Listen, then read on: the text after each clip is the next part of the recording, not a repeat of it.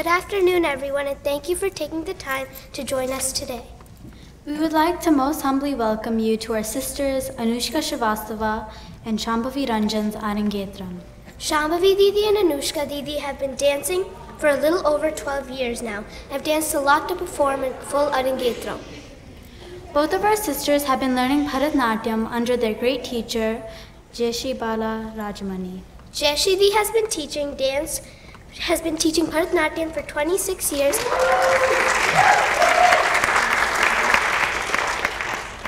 and has become a great teacher and mentor for her students.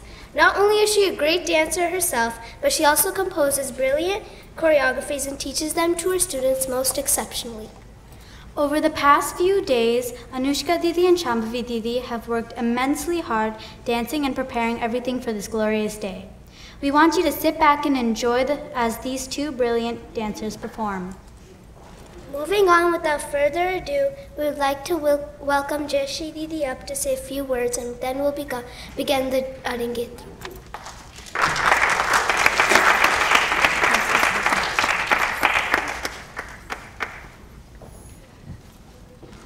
Namaskaram and welcome everyone. Thank you, Shivali and Shivangi, for that nice introduction. Bharatanatyam. This is the dance form I practice and I teach. It's an ancient dance form, and we dancers believe that the dance descended from the heavens itself. When Lord Nataraja descended to the earth to perform this glorious dance for us. Legend has it that many, many, many thousands of years ago, there was peace on earth. There was harmony between the Devas, the celestials, and the Rakshasas, the demons. And when this harmony was there, they got bored. So they approached Lord Shiva and they said, Oh Lord, can you do something to entertain us? To which the Lord spontaneously arose and started dancing. And the dance was so powerful and beautiful. His wife, Parvati, upon seeing this, too got up and started dancing with her Lord. And together, the two of them created a dance form so beautiful. He providing the tandava, the power, she providing the lasya, the grace. And that is the story of how dance came to us, mortals. The temple dance that this is, known as Bharatanatyam, was performed predominantly in the temples, the Hindu temples of South India. The dancer's role was to celebrate the deity within. She would spend her entire life performing for the temple during celebrations and festivals and inviting the people of the village to come in and partake in that religious celebration. Today we perform it in a stage, but in our hearts we still dedicate this to the beings beyond. And that is what keeps this dance spiritual both in a religious sense, but also within ourselves in an emotional manner. The Arangetram is the first step in a dancer's life. It is the moment where she or he literally ascends the stage and donning the ankle bells that were just presented to them in front of an august audience of friends and family to live musicians perform for the first time publicly, announcing that they have arrived. And this is the beginning of years of training and years of performing that is yet to come. So please sit back and enjoy as we begin a journey into a realm from the past to enjoy dance music, drama, and I hope a small amount of emotional and spiritual enlightenment for all of us. So sit back and enjoy Anushka and Shambhavi's Arangetram. Thank you.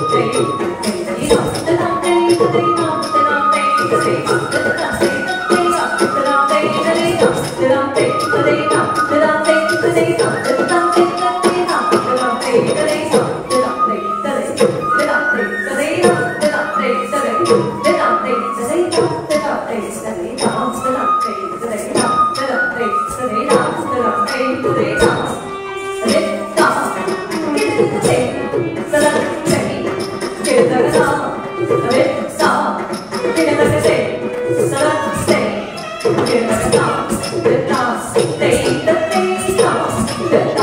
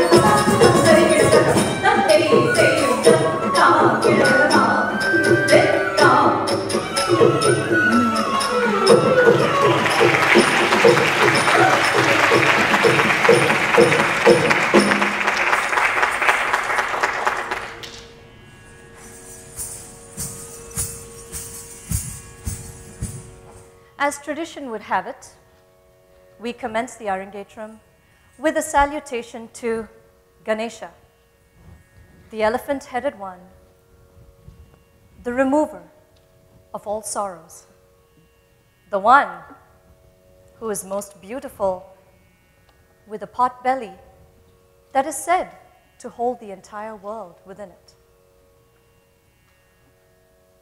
He is the son of Shiva, the lord of our dance. And he is most compassionate, for when I bow to his lotus like feet, the all knowing one, the one who is the keeper of the world, blesses me.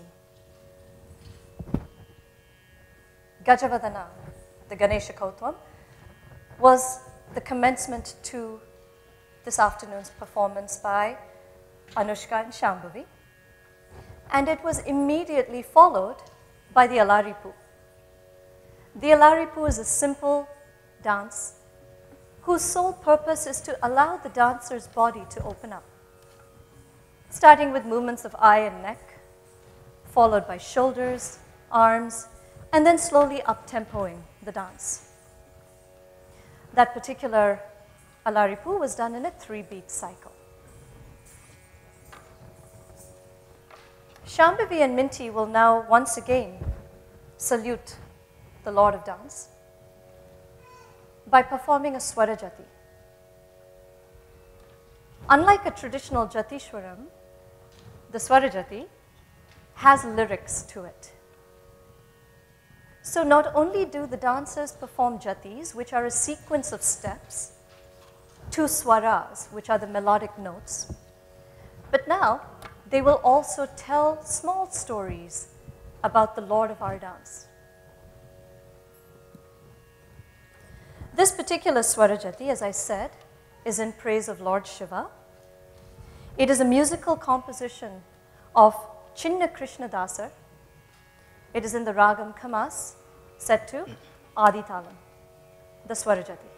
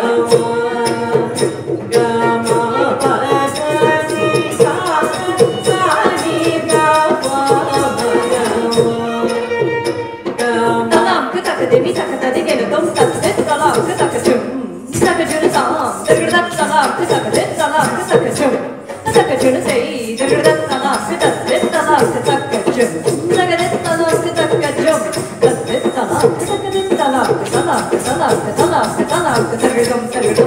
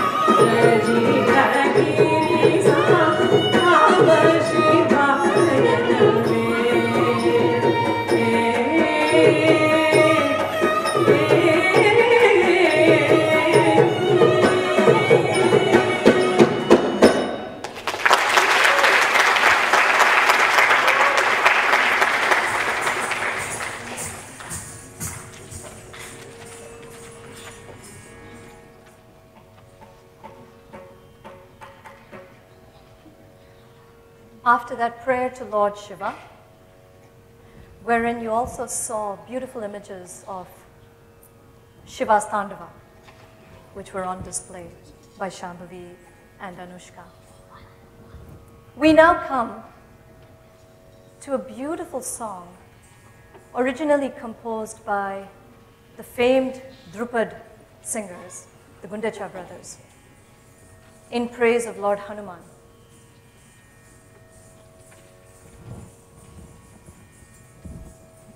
It is a completely devotional piece full of bhakti. And we are interpreting the poet's words to describe how Lord Hanuman, the all knowing, the one who changes his form, the one who is beloved to Sri Rama.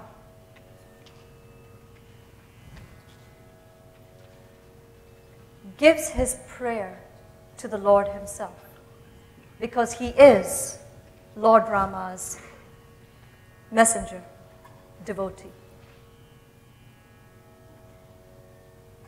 The dancers say that I salute Anjani's son, Vayu's son, Vayu, the wind god. For he removes all of our sorrows. He lifts his mace, his gada, and protects all around. The dancers will display the small story of how Hanuman, unable to identify the Sanjeevani plant, the plant that gives life, lifts the entire mountain with one hand and flies back to the battlefield so that Rama's brother Lakshmana may be revived. It is to this most amazing Lord do we salute and surrender. Namo Anjani is originally set in the Hindustani rag Bhimpalasi. Namo Anjani.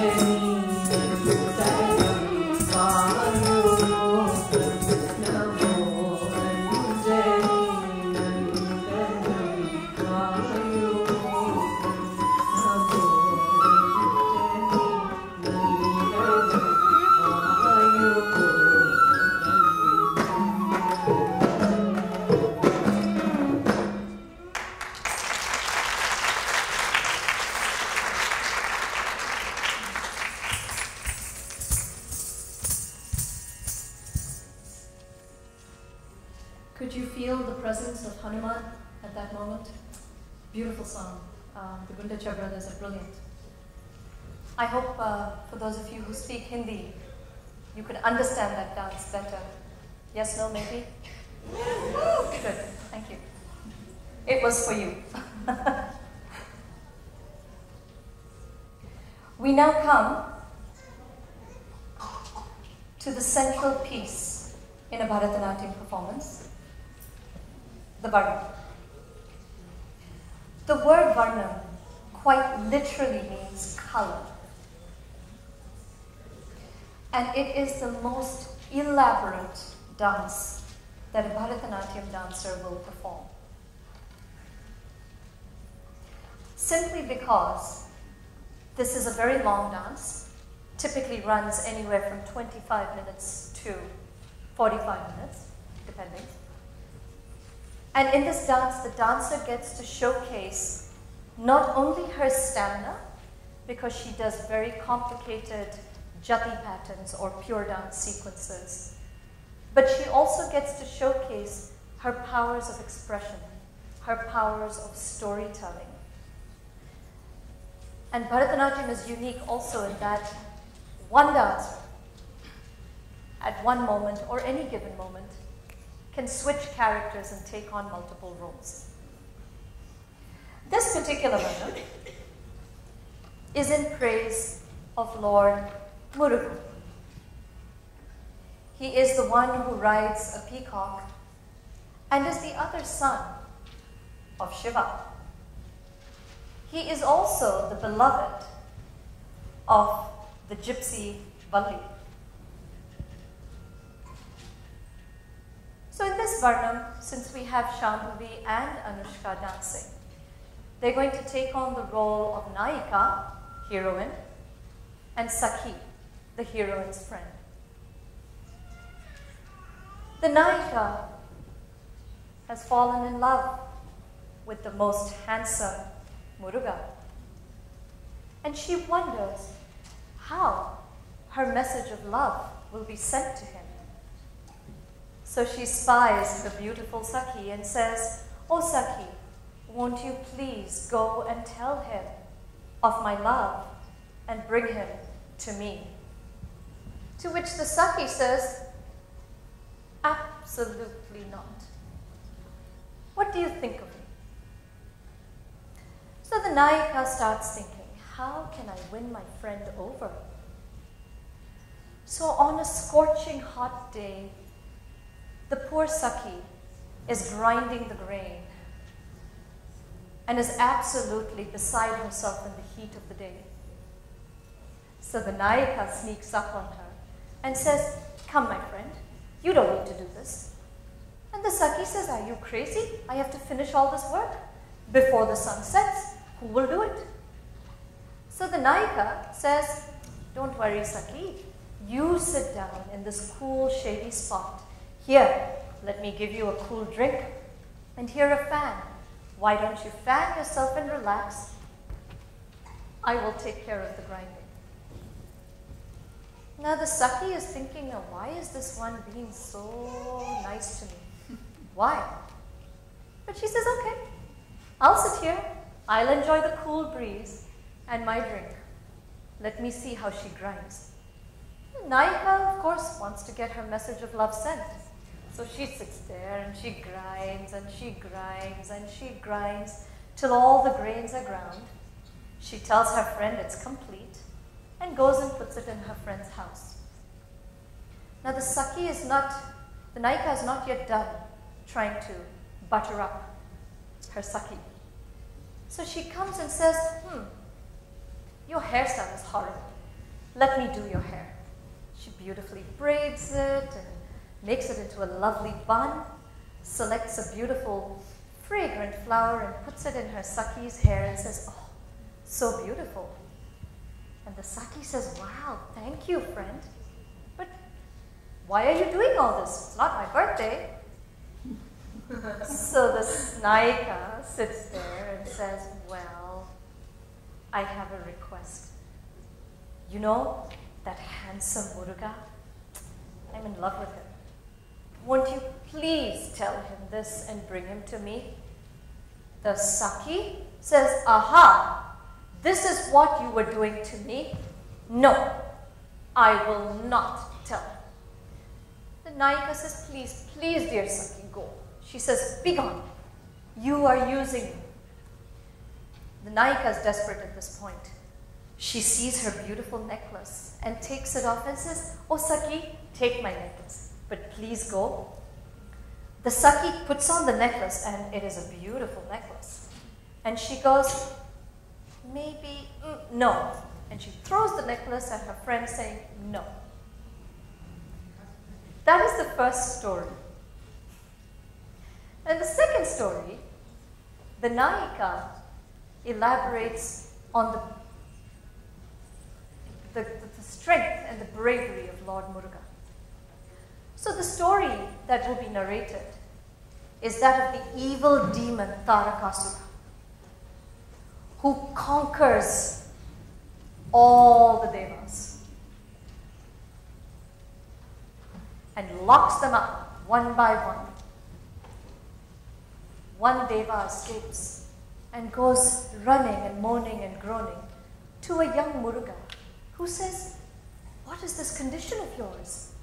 What happened? Speak. And upon hearing the plight of all the celestials who are locked up by this evil Tarakasura, he says, Don't worry, I am here. I will destroy the demon Tarakasura. Mounting his steed, the peacock, he goes off to Tarakasura's abode. And Tarakasura looks at this little chit of a boy and says, Boy, What do you want? Muruga says, I have come to destroy you. Fight with me. Tarakasura looks at him and laughs. You, you little chit. Here, take this ball. Go, go play. Muruga catches the ball and destroys it and says, Speak not, but come, show me your strength and fight with me. One of the characteristic traits of this demon Tarakasura is his ability to change form at will. The battle begins. Fierce battle ensues. And each time that Lord Murugan kills Tarakasura, first in his form of demon, he assumes the form of a bull. Muruga destroys the bull. Tarakasura changes into the form of a tiger. Muruga destroys the tiger. Tarakasura assumes the form of a vulture and flies away. Muruga takes his vel, his spear, and throws it at Tarakasura. And as the demon falls to the ground, he turns into a tree. And that is the moment that Muruga has been waiting for and throws his spear, cutting the tree in half. And from this tree emerges a peacock. And with one sound,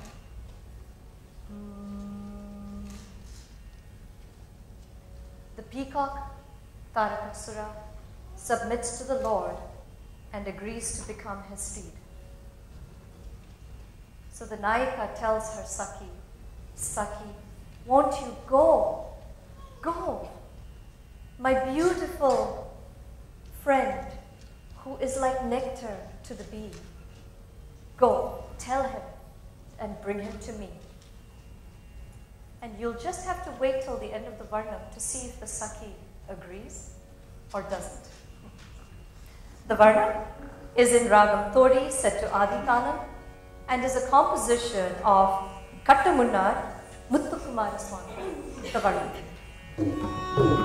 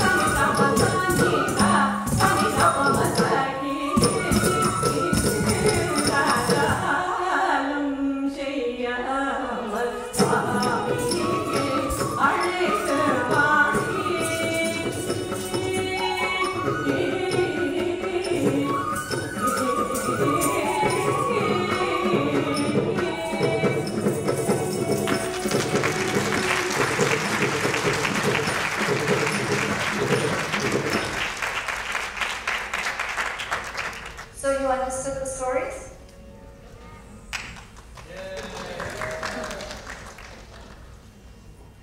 So before we break for the intermission, I would like to take this moment to introduce the members of our orchestra. We dancers cannot dance without music.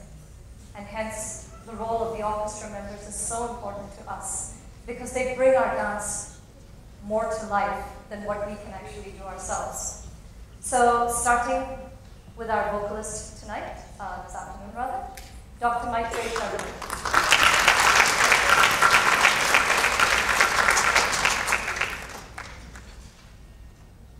Mike Sharma.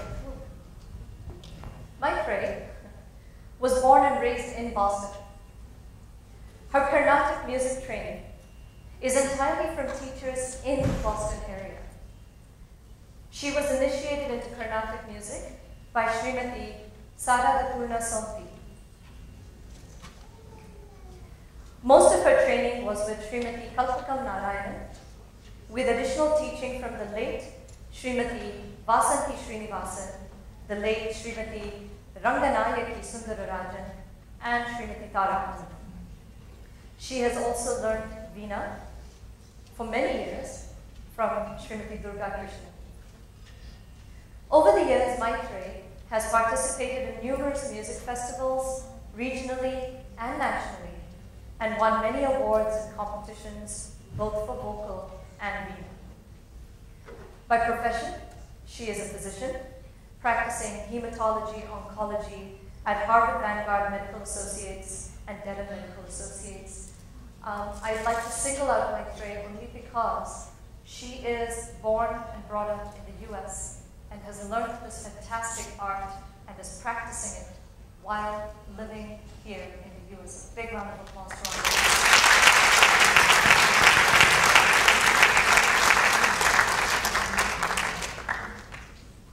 Another born and bred Bostonian, Kumari Rasika Murli on the violin.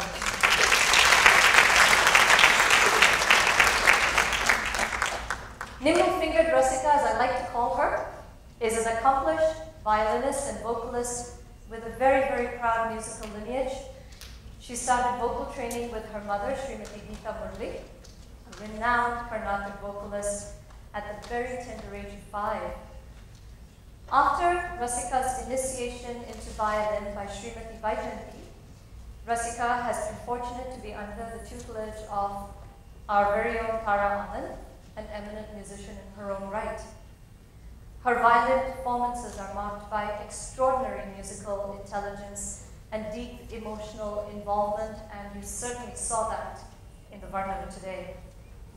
Rasika has won numerous awards for both vocal and violin competitions held by prestigious music organizations like the Cleveland Aradhana Committee and Simana in New Jersey. She had the honor of winning Simana's prestigious MS Subbulakshmi Award at the very young age of 14.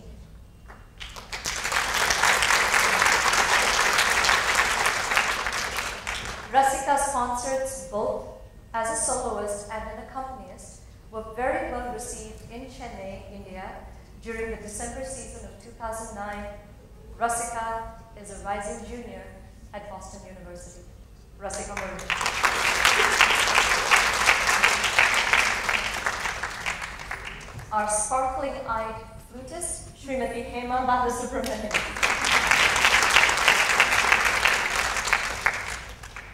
Hema is a self-taught flautist.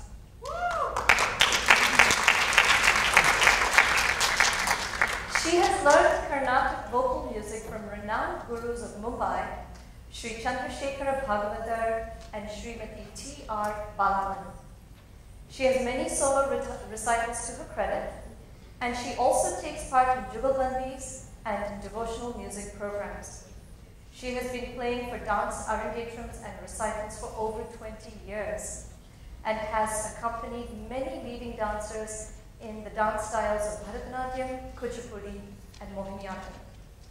Hema lives in Mumbai and teaches Carnatic music, both vocal and flute, and she also teaches students in the US through Skype. We're fortunate to have Hema with us. She's touring the US right now. Hema Balasubramanian.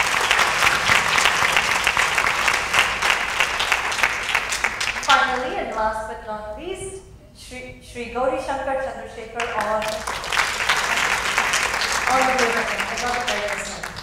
Gaurish is a student of Shri K. Kalyana from the Tanjore Upendran School of Mridangam. He had the opportunity to advance his Mridangam skills under the able guidance of late Sri Trichy Raghava Iyer of the Bharatiya School of Music and Arts in Mumbai, India, and Kalaimamani Shri Thiruvarur Bhaktavatsala. He has over 15 years of concert playing experience and has accompanied many leading visiting and local artists. He has conducted lecture demonstrations at various music schools in the Boston area, including the Berklee College of Music. He regularly provides percussion support for Indian classical dance ensembles and arangetrams in the New England region. Gaurish has been teaching students this fine art of percussion. His students have won awards at the Cleveland Aradhana and Samana competitions, and they really are very talented young individuals. He plays other percussion instruments also. You'll see that in the second half of the program, such as the dholak, the congas, and the kanjira. He has also collaborated and performed with various jazz and bluegrass artists in the Boston area. In 2009, he has recorded Mridangam and Kanjira for the Boston Symphony Orchestra's Classical Companion Web Project to encourage young composers. With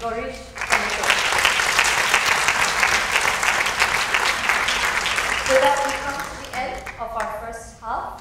There'll be a brief intermission of 15 minutes, so please stretch, enjoy some snacks, and come on right back. There's plenty more dancing. Thank you.